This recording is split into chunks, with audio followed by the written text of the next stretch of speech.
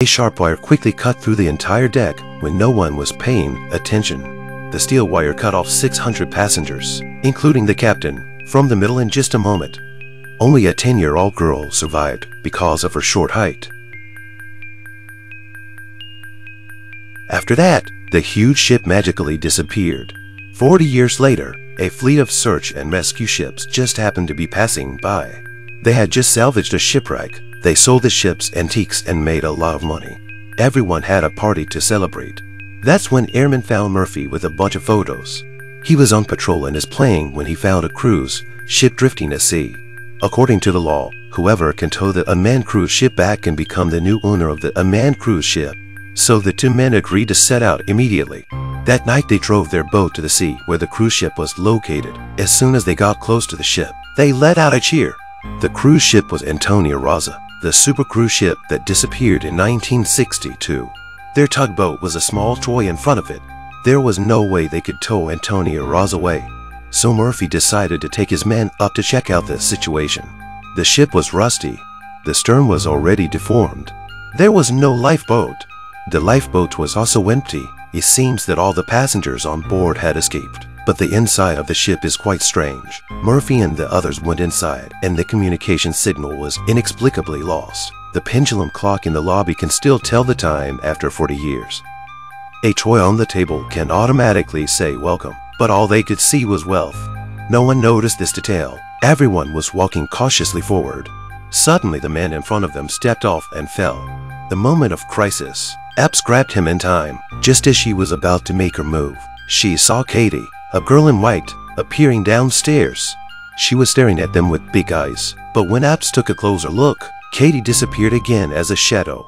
Epps felt a little scared, but Airman reassured her that she must have been mistaken. Epps could only follow the group with doubts and continue to walk forward. Soon they reached the captain's bedroom. Here, they found an electronic watch that was still running. Murphy and other people's faces instantly showed a look of horror because in 1962, electronic watches were not introduced at all. Then there was only one possibility, is that someone had been here before? But what Murphy couldn't figure out was, why didn't these people tow the cruise ship to the pier to sell it for money? Fearing that the cruise ship might be dangerous, Murphy immediately took everyone back to his tugboat and held a democratic discussion. Murphy was the first to speak. He said the cruise ship looked very strange. It was like a legendary ghost ship. Let's just go home. But the rest of the ship's crew was already overwhelmed by the huge profits, since they were here to salvage and make money. So they had to search the ship for antiques and treasures even if they couldn't tow the ship away. Murphy agreed with them. So they devised a plan to split up the search. The woman found a pool full of bullet holes on an abandoned cruise ship. Could there have been a fierce battle here? Epps is about to climb up and tell the others the news. Suddenly, Katie, the girl in white, reappears. Epps was so scared that he fell unconscious. When she woke up, Airman was around to comfort Epps again. How did you get dizzy again? Epps did not say anything, but she felt that she had seen the right person this time. Just as they were leaving, the pool suddenly vomited red blood like crazy. Meanwhile, not only Epps sighed, the rest of the team also experienced something weird. Greer found a freshly lit cigarette with a woman's lipstick in the living room. But the confused Greer doesn't notice the red dress in the corner. Murphy found a freshly opened bottle of red wine. He wanted to smell the freshness of the wine. Instead, he saw the former captain of the cruise ship in the mirror. All kinds of weird phenomena immediately let everyone think that this ship is a ghost ship. Just when everyone was ready to give up, Epps found several boxes of gold on the ship. The glitter of gold instantly dispelled everyone's panic. However, everyone decided to take the gold and leave this terrible place. They must not do the kind of thing where they have to take the money but not spend it. But just as they were carrying the gold, the tugboat exploded due to a gas tank leak. The coxswain who remained on board was blown up along with the boat. Their escape boat was shattered. The gold was worth millions, but not for food. Everyone was soon in a state of embarrassment and confusion. They wanted to call for help, but they were afraid they would take the gold. Greer was depressed when he heard that. He had to drink to drown his sorrows. He was in the middle of his drink. Suddenly everything around him went back 40 years. A group of men dressed in black applauded him. A woman in a red dress comes up to him and tries to make out with him. The lustful Greer is slowly lured into a trap. He accidentally falls from a height and loses his breath. Under and Jamie unearth half a box of canned goods, although the cans have been sealed for 40 years. But it tasted fresh. While they were enjoying their meal, the delicious cans in their hands suddenly turned into disgusting maggots. And Murphy, who was drinking alone, had a strange encounter. Drunk, he saw the dead captain of the cruise ship.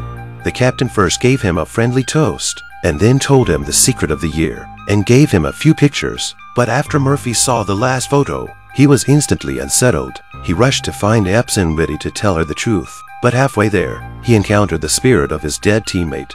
Murphy was scared out of his mind. When he saw Epps, he also thought she was a ghost.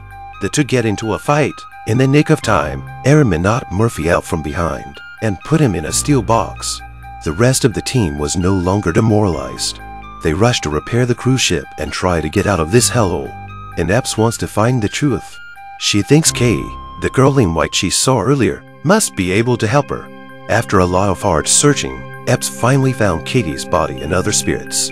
Epps tries to ask Katie what happened to the ship, but Kitty seems to have something to hide and said that Epps was very much like her mother. Epps was devastated after hearing that. Let's not even talk about whether they knew each other or not. When the girl danced on the ship in 1962, Epps hadn't even been born yet. How could Epps be her mother?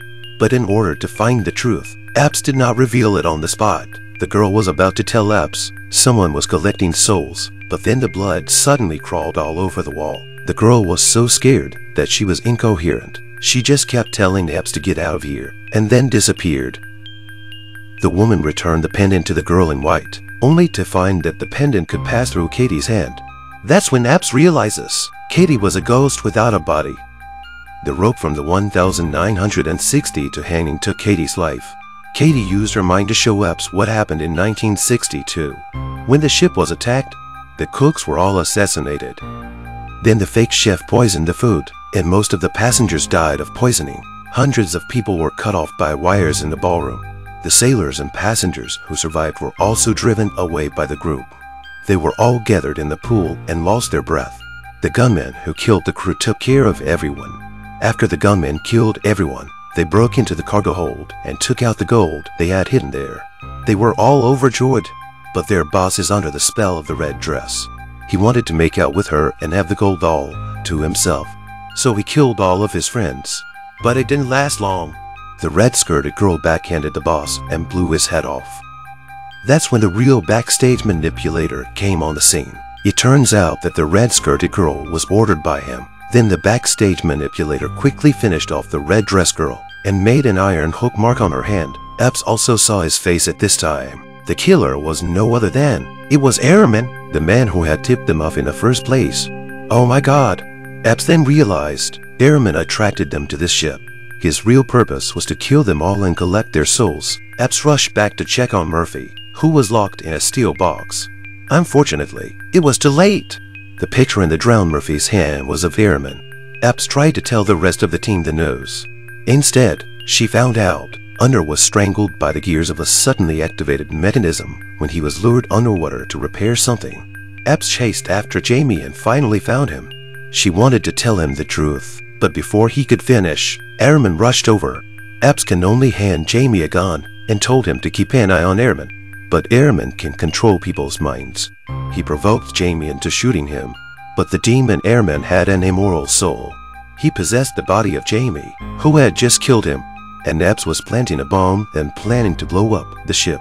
But then Airman, who was transformed into Jamie, found her. He said we stole the gold and then live a life of wonder, isn't it good? But Epps was unmoved. That's when Airman, transformed into Jamie, finally revealed his evil nature. He's patient and cruel, evil and good at planning. He loves to collect the souls of the greedy, so he used human greed to trick people to die on the ship. Then he collected their souls and enslaved them. Of course, if you are not a greedy person, you certainly will not fall for his trick. What Airman didn't expect was that Epps is also a ruthless person. She finally chose to blow up the entire cruise ship and die with Airman, and all the souls trapped on the ship escaped. And thankfully, Epps was lucky to survive with Katie's help. She was successfully rescued by a passing merchant ship, but as she lay in bed, she was horrified to find a group of people came into the cruise ship with boxes full of gold, and the dead airman, the only survivor, enters the new ship again. It seems that the devil's game is not over because human greed is still alive and well.